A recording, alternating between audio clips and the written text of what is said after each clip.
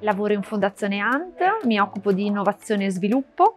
Come Fondazione ANT siamo iscritti al network da diversi anni e ne traiamo beneficio per il fatto che incontriamo aziende che poi aderiscono al nostro modello di sostenibilità.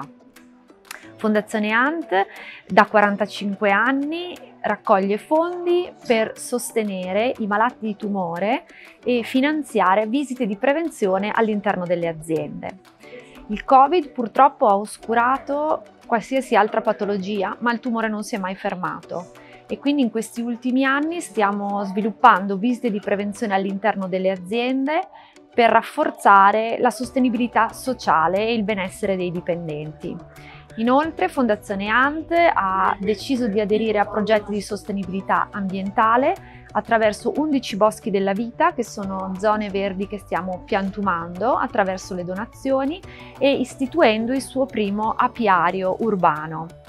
Quindi anche i temi di sostenibilità ambientale sono, sono diciamo, nel cuore della nostra fondazione.